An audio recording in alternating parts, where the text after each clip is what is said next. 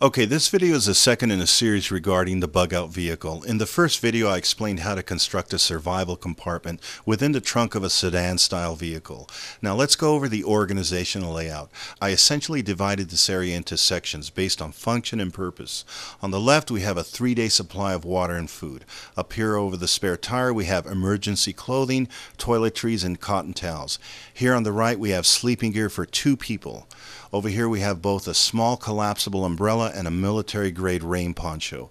And here are the items for vehicle based maintenance and minor repairs. Along with that we have a car jack with iron and an emergency spare tire as well. Here's 100 feet of decently strong utility rope for tying down items and what have you. And here's a mobile medical trauma bag. The best thing I like about this bag is its versatility. It functions as both a first responder kit as well as an everyday discomfort bag as well. And we'll be getting into the contents of this bag a little later on. And here we have the urban survival bag as well. Again, we'll look into its contents in just a bit. Now, what about the functional purpose of this compartment? You may be asking that. Well, I want to define that for you. Now, you know that I created the survival compartment primarily for my wife, yes, but what was the operational philosophy behind its creation? Well, here it is. It is to provide my wife with the survival capacities necessary to ensure both their safety and sustainability for a period of up to three days or longer if necessary. And now, what are the expressed goals? I want her to be able to regroup and rebound from a crisis situation as quickly as feasibly possible. And once she's on her feet, I need her to reunite on my location. In this way, the integrity of our team, along with all our team based training, remains intact. Remember, always keep the team together, or at least in the process of coming together whenever possible. Okay, let's look at the food and water here. As you would expect, I chose MRE specifically because of their ready to eat design. But remember, during the hot summer months, the expiration dates lessen significantly. So we change these out yearly on a recurring schedule. And here's a list of items found here for one person. Again, remember, Remember, this food here can easily be stretched out to five days if necessary. For water, we use BPA-free Nalgene bottles. Now, we have three 32 ounces in this location here and more under the front car seats. Now, if you're going to copy this design, you use what's best for you. Let's look at the emergency clothing and toiletry here. Here we have vacuum seal packs of three specific items. First, a field jacket liner for my wife. The ALS 92 here comes in many sizes and tactical colors, and you can get them from aviationclothing.com. Now, for extra cold scenarios, we have an Under Armour Cold Gear Base 3 top, as well as the leggings that go with that. Same thing for me an ALS 92 field jacket liner and an Under Armour Cold Gear Base 3 top, and the leggings that go with it as well. Here's an extra sweater for my wife to use on cold nights. And here is a zippered bag with toiletries for a few nights, just in case my wife or I are forced to stay with a network partner. It has a toothbrush, toothpaste, dental floss, soap, razor, deodorant, shampoo and conditioner, toilet paper, and feminine napkins. Wells Lamont gloves here, his and hers, a roll of toilet paper, two cotton towels for showers, and an extra sweater for me in case of a cold night as well. On the right underside here we have our sleeping gear. Now we use Recon 3s in both our bug out bags as well as in the car. They've got a decent rating and they condense down to a very small size. Now during the spring and summer months we keep assorted snacks here for quick energy, especially for my wife who gets a little grumpy if she doesn't have something in her system. Now in the winter and fall months we augment our survival capacity by adding a Jetboil cooking system right here.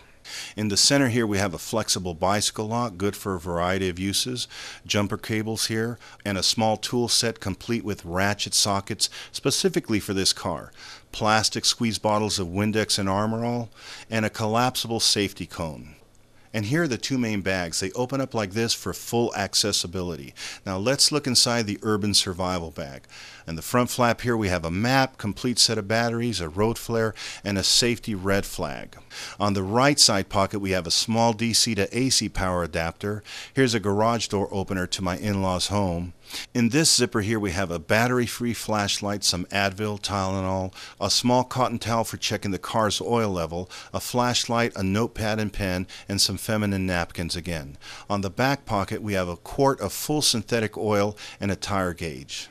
On the inside upper pocket, we have some safety pins, wet ones, and a place for spare change. Now, $30 in small bills and 6 bucks in change stays in here at all times. You'd be surprised how many times we've had to use this. And here's a red colored wand which attaches to our Fenix LD20 flashlights, which we carry on our EDCs. But that's for another video. In the main compartment, we have some tire sealant, a dust mask, a spoon, two extra cotton towelettes, and 30 feet of paracord. In this organizer, we have four wet ones, two cord clamps, one tissue packet, one hand warmer, three tie wraps, a little paracord, some hair bands, spare batteries, a Sharpie pen and marker, $20 bill sealed for emergencies only, waterproof matches, two glow sticks, a P38 can opener, an emergency whistle, a spare camera memory stick, two cell phone batteries fully charged, a spare car beeper battery, some spare earbuds for the road, and a spare battery for our camera. Okay, let's move on to the medical trauma kit. We're going to go fast here, so pause the video as necessary. In this front pocket, I have a suture kit, along with some needles and syringes for administering local anesthesia, some tie wraps, some more Stay Alert gum, some hydrogen peroxide here, and some Vaseline. Now, I just threw this kit together with some spare instruments. I'll most definitely work on it a little more when I have some more time. In this front zipper, we have a lighter, a notepad, and a pen. On this right side pocket, we have some poison ivy implements. On this left side pocket, an ace bandage and some medical tape. And in the back pocket, a 500 milliliter IV bag with tube and catheter. Now, I've started at least 100 IVs in the most weirdest places on earth. One time on an eight year old girl around 2 in the morning during a wild thunderstorm. Her father, who was a drunk, had somehow nearly chopped his little girl's entire left thumb off. When my Special Forces team members brought her to me, she was crying hysterically and her father was shouting obscenities. Now, once we stabilized her, we were able to save the use of her thumb by reattaching the flesh and skin over what remained of her thumb bone. I stayed up the entire night with that little girl, and I still remember her to this day. She was a little scared, yes, but she was okay in the morning when we finally turned her over to a very, very grateful mother. Okay, up here we have safety pins. On this inside upper pocket, we have heavy duty scissors, assorted band-aids and moleskin, a heat patch, some nitrile gloves, a small flashlight, and a space blanket. In this part of the main section, we have two cotton towels, some compressed gauze. Here's a couple of gauze rolls, a cold pack, some good rehydration salts, some Water-Jel pre-soaked burn dressings, some QuikClot here, and here's a cinch tight. It's vacuum sealed here, but it opens up to an 8 by 10 absorbent pad, and it comes with a tension hook for easy anchoring and attachment. Now, in these two organizers, we have some more common everyday discomfort medicines, over-the-counter stuff. Here's some wet ones, Benadryl capsules for allergies allergies, Imodium, an antidiarrheal, some Dr. Schulze herbal formula number one, maximum strength. If you're constipated, this stuff will get you going and fast. Some multivitamins, some electrolyte replacement powder, a Sharpie pen and Sharpie marker, some Squincher electrolyte powder, Alka-Seltzer tablets, Tums, Tylenol PM, some Claritin for allergies, Ricola for cough suppression, chapstick, and finally Visine. In this organizer we have ibuprofen, Tylenol, earplugs. Here's some cortisone 10 cream, and this is a cortisone 10 applicator stick. Some antifungal spray, toenail clippers, tweezers, some neosporin, assorted needles and syringes, and some Q-tips here with some packaged tincture. Okay, that about does it. I know that was a lot of gear, so I want to thank you for hanging with me through it all. Again, the primary functional purpose of this compartment is to provide my wife with the capacities necessary for both her safety and sustainability for a period of up to three days and hopefully longer if necessary. She and I can then regroup and reunite back on our primary location. And finally, guys, here's a demonstration of my wife using the finished product.